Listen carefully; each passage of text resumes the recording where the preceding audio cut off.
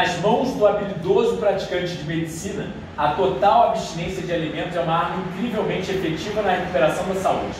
Dr. Sérgio Morgulis, médico e professor de bioquímica da Universidade de Nebraska, em seu livro Jejuar e é, Subnutrição.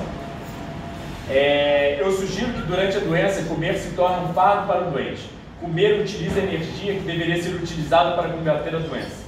Dr. Edward Dewey. O jejum é uma operação interna sem bisturi. Dr. Nikolaev, psiquiatra da, da, que conduzia os jejuns em Moscou, uma clínica em Moscou. Nomes históricos e líderes religiosos também jejuavam. Nós temos os filósofos gregos, como Platão nessa figura, sugerindo: eu jejuo para maior eficiência física e mental.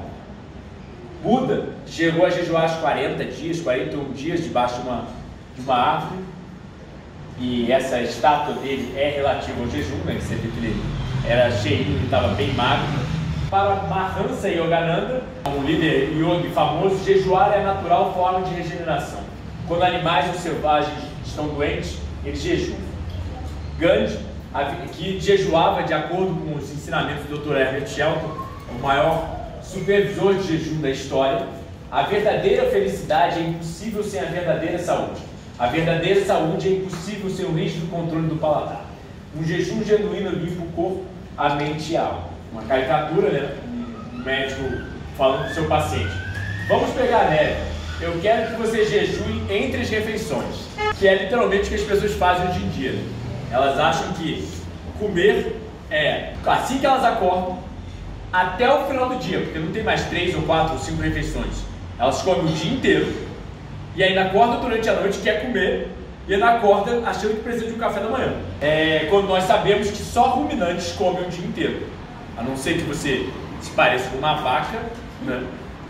E nós sabemos que nós somos mais similares aos primatas antropóides, compartilhando 99,3% nosso material genético com eles, e eles comem duas refeições ao dia. Os próprios filósofos gregos sugeriam que quem come mais de duas refeições ao dia são bárbaros.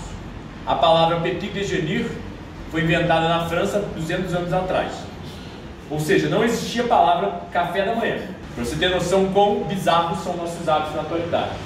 E nós vemos o mundo animal como um todo, o que nós chamamos na biologia de metamorfose, ou seja, um girino consegue, sem comer, se comer internamente, seu rabo mais especificamente, e fazer uma alteração de um animal anfíbio, de um animal aquático para um animal anfíbio, ou seja, que vive na água e na terra. Sem comer, ele se come e vira um animal com estrutura diferente. A borboleta, que era uma lagarta, come que nem uma glutã por mais de 20 dias, engorda e cria um casulo se autoliza completamente, ou seja, de uma lagarta vira uma gosma dentro do casulo e dessa gosma se transforma um, um animal completamente diferente em termos de anatomia, fisiologia e bioquímica e sai dali voando depois de quase um mês sem comida e com um remodelamento em total estrutura. E como eu disse, as pessoas perdem uma refeição e ficam com medo de má nutrição. Chega a ser uma piada de, má, é, de mau gosto, né? O, o, medo que a gente tem sobre algo tão fisiológico, tão natural e que o organismo vivo coordena tão brilhantemente que as pessoas têm medo ainda de inanição de morrer de fome, como se desse. O organismo vivo fala muito antes da necessidade por comida e você fica muito ávido. Ele é, é uma inteligência de centenas de milhões de anos que já vem desde fungos, desde os organismos mais simples até os mais complexos e continua dentro de cada um de nós. Tanto é que a própria ciência tem o Prêmio Nobel de Medicina de 2016 jejum. Então, hibernação e estivação. Ou seja, a gente sabe do urso que hiberna até 5 meses sem comer, mas a gente não sabe que até mesmo animais tropicais também hibernam e é chamado de estivação. Ou seja, através do globo, todo tipo de espécie jejua. A metamorfose é um tipo de jejum e até mesmo as plantas jejum. Ou seja, elas têm um ciclo, é, um ritmo circadiano, um jejum, elas também têm mecanismos similares. O salmão, por exemplo, que é tão famoso por subir a correnteza, lutar contra a correnteza, ele faz isso em jejum. Chega no final da correnteza e reprocria depois de 30 dias em jejum. A, fo a foca peluda do Alasca, que passa quase dois meses jejuando, mantém um harém de 50 focas, luta contra as outras focas que tentam roubar alguma foca do seu harém e ainda impregna, é, é, ainda insemina cada uma em torno de quatro vezes, ou seja, faz sexo em torno de mais de 200 vezes durante esses dois meses, luta contra os predadores, tudo em jejum. Os benefícios fisiológicos e bioquímicos do jejum já comprovados, como redução da glicemia, insulinemia, IGF-1, colesterol, triglicerídeos, batimento cardíaco, pressão arterial, PCR, é, é, proteína C reativa, é, ou seja, inflamação, estresse oxidativo, aumento do hormônio da saciedade, aumento da sensibilidade insulínica, aumento da resistência celular ao estresse, aumento da autofagia, normalização da microbiota intestinal. Ou seja, isso se traduz em prolongamento da vida e rejuvenescimento, a mais eficaz perda de peso, não tem como perder peso mais do que jejuando, melhoria em todos os biomarcadores e parâmetros mensuráveis da fisiologia, tanto físico quanto mentais, estimula a neurogênese e melhora a capacidade cognitiva diminui a perda da mesma, ou seja, diminui a, a neurodegeneração, melhorias no sistema imune, menores incidências de diabetes, doenças cardiovasculares, câncer, inflamação e elevação espiritual pelo que, todo mundo, pelo que todas as pessoas que praticam a lei. Essa tabela, por exemplo, é uma tabela de uma pesquisa publicada pelos principais pessoas de jejum da atualidade, mostrando que, por exemplo, perda de peso faz a queda na pressão sistólica em 1,6. É, uma dieta vegetariana rica em fibras causa a, perda da, a, a queda da pressão sistólica em 2,8. Corte do consumo de álcool, 4,8. Exercícios físicos, 8 pontos. Remédios, 12 um jejum higienista e realimentação supervisionada, 37 pontos. Hipertensão arterial é a principal comorbidade, ou seja, um dos principais problemas que leva a, a grande, é correlacionado à grande maioria das doenças crônicas degenerativas. Nada é tão eficaz quanto o jejum de reduzir o risco de uma, um, um dos principais problemas né, na atualidade. Repouso, benefício na circulação, benefício nos órgãos viscerais, é, do tecido adiposo, estresse, é, metabolismo de energia, estabilidade de proteínas, estabilidade do DNA, né? O supra-regula uma enzima chamada sirtuína, que é correlacionada à longevidade e a reparo. É, supra-regula o BDNF, que é um fator neurotrófico, ou seja, produz novos neurônios. Quem não quer ser um pouquinho mais inteligente, reduz inflamação, ou seja, mostra benefícios como o, o, o longo, que é uma pesquisa que eu não vou mostrar hoje, induz regeneração múltipla dos sistemas. Jejuar começa a corrigir todos os sistemas: muscular, esquelético, cardiovascular, sistema imune, microbiota, sistema gastrointestinal. Ele literalmente começa a ligar todos os seus mecanismos para reparar tudo que há no corpo. Você está com hipertensão arterial, ele volta à normotensão arterial. Você está com hipotensão arterial, ele volta à normotensão arterial. Ou seja, o corpo é inteligente. Ele sabe onde ele quer regular pressão, onde ele quer regular peso. Ele, ele entende o que ele está fazendo. Não é algo caótico e perdido. É... é, vários benefícios fisiológicos sendo mostrados através desses dessas, dessas figuras. Eu vou tentar botar aí, é, essas figuras no, no vídeo que eu vou jogar no YouTube, dessa palestra. Mas aí, mais simples, Dr. Edward Kidui de novo. O desejo por comida pela manhã é uma questão de hábito apenas. A fome matinal é uma doença cultural e aqueles que sentem a maior necessidade são aqueles que mais precisam jejuar para a saúde. Aqueles que alegam que o café da manhã é sua melhor refeição e que não conseguem fazer nada sem antes comer são praticamente em linha com os alcoólatras precisam de sua bebida antes de começar o dia. Comer em excesso é tão generalizado da ignorância do conhecimento de fisiologia que poucos estômagos já tiveram tempo de esvaziar-se assim descansando o suficiente antes que sejam estufados novamente. Através do jejum, nós deixamos as partes doentes do sistema digestivo descansar, como faríamos com um osso quebrado ou uma E agora o Dr. Everett Shelton, no jejum, o corpo quebra a si mesmo em suas partes, quebra suas partes defeituosas e então reconstrói-se quando a, a realimentação é resumida. Então a autólise é controlada, ou seja, essa autodigestão que ocorre é que nem a gente vê o ovo, por exemplo. O que, que acontece com o ovo? Existe um microorganismo lá dentro, todo o resto do ovo é estrutura é, nutriente. Então o microorganismo começa a autolizar toda a estrutura interna, toda a estrutura nutricional ali, para literalmente se transformar em um pintinho e sair do ovo grande. O que, que faz com a semente?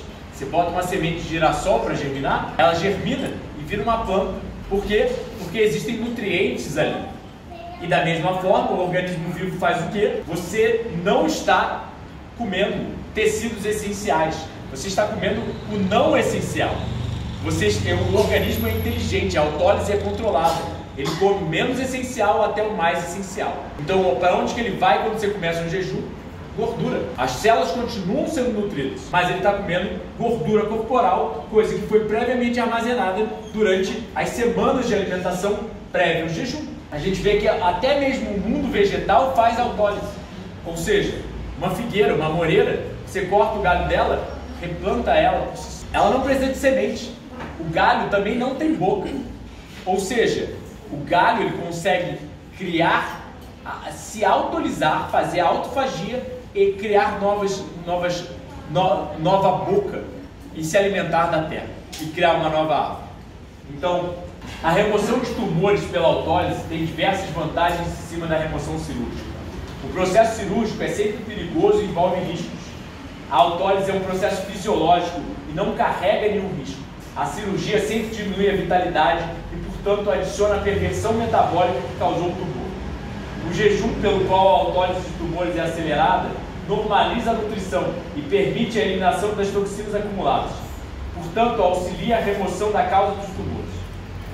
Após a remoção cirúrgica, tumores tendem a recorrer. Após a remoção autolítica, existe pouca probabilidade da recorrência. Tumores geralmente recorrem em sua forma maligna após a remoção cirúrgica a probabilidade de tumores malignos reaparecerem é removida pelo jejum. Dr. Herbert Shell. Como a gente vê, o girino, ele não autoriza seu cérebro, ele autoriza sua cauda, que é desnecessária para o presente momento na metamorfose. Assim como o timo é autorizá-lo depois da nós chegamos na fase adulta.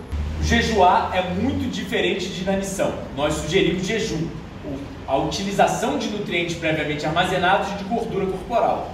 Nós não sugerimos inanição, que é quando a, a, termina as reservas de gordura corporal ou de outros nutrientes e a fome é reinstituída e o organismo é indicado a quebrar o jejum. Como eu disse, a nutrição é contínua, não de fora para dentro, mas de dentro. A célula sempre precisa de nutrientes. Quando você está jejuando, você está comendo. Só que você está comendo o que está sendo quebrado constantemente ao longo do jejum. E por que jejuar? Porque todo mundo, quando fica doente, perde a fome.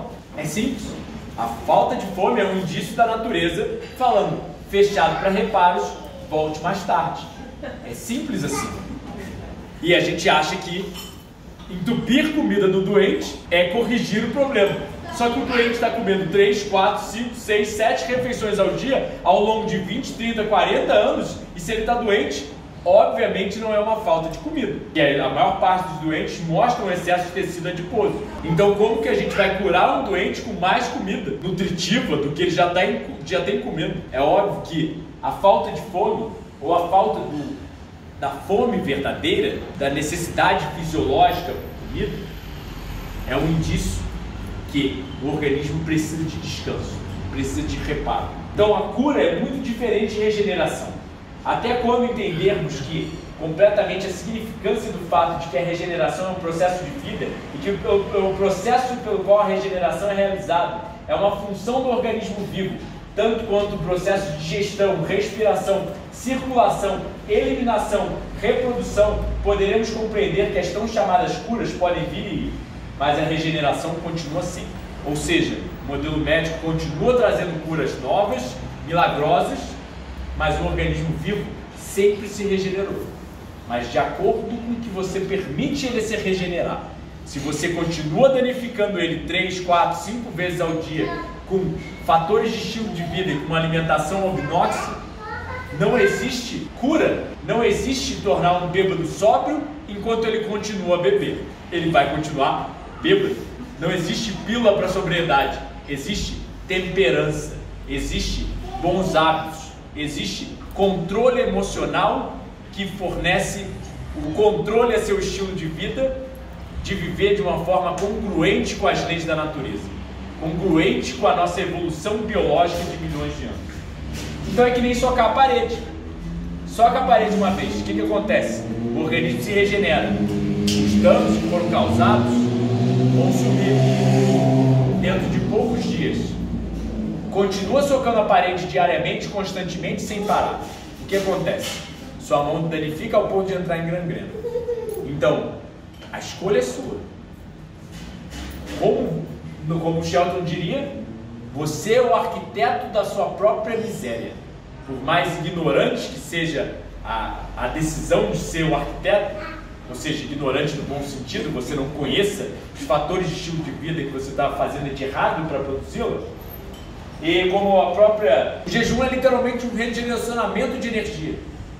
Quando você para de comer, ele redireciona para o reparo. Quando você come, ele redireciona para a digestão e replicação a nível celular. Os próprios gregos já diziam: Vix medicatrix naturae as forças curativas da natureza. Entretanto, existe o que nós chamamos, nós higienistas chamamos de o limite da matéria. Corta o rabo de uma salamandra, ela jejua até crescer um novo. Corta sua mão fora, que eu espero que você nunca faça, você não cresce uma mão nova.